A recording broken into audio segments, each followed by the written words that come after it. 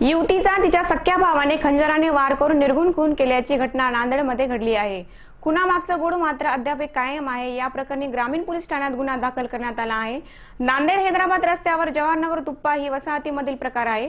चोवीस वर्षीय पूजा वाघमारे हिच्या भावाने पूजावर तीक्ष्ण हत्याराने तिच्या गळ्यावर आणि पाठीवर वार केले.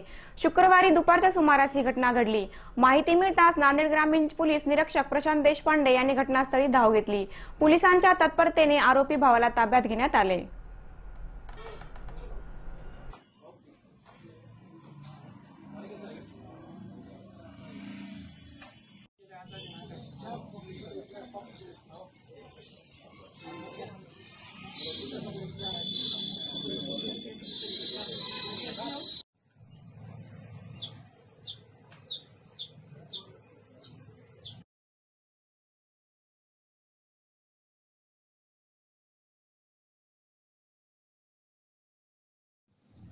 आणि साहित्य पण येऊ द्या बघा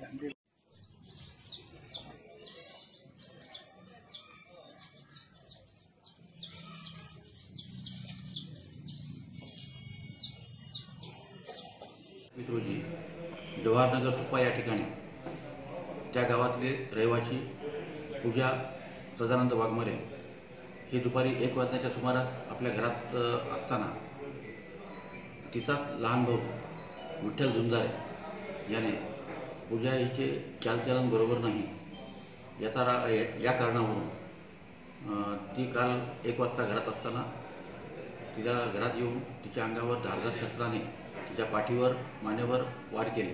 त्यामुळे ती जागेवरच मरण पावली. या प्रकरणावरून तिचा नवरा त्याच्या फिर्यादीवरून म्हणजे त्याच्या नवऱ्याच्या फिर्यादीवरून आरोपी विठ्ठल झुंजारे याच्या विरुद्ध पोलीस स्टेशन ग्रामीण येथे कलम तीनशे दोन प्रमाणे गुन्हा दाखल झालेला आहे.